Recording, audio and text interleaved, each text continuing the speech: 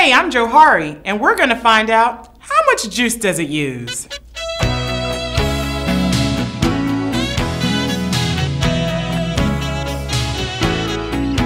Folks have been using the microwave to cut corners with cooking since 1967. Whether it's defrosting, reheating, or just warming up, these things definitely save time.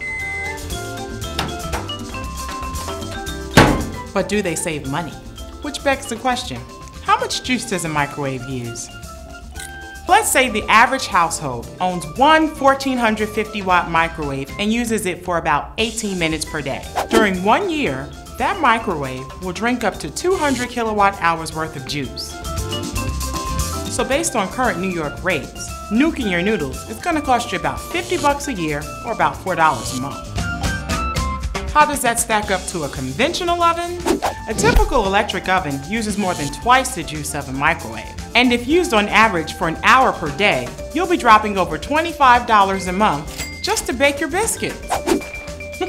In the end, not only is a microwave easier on the electric, it's also gentler on your wallet.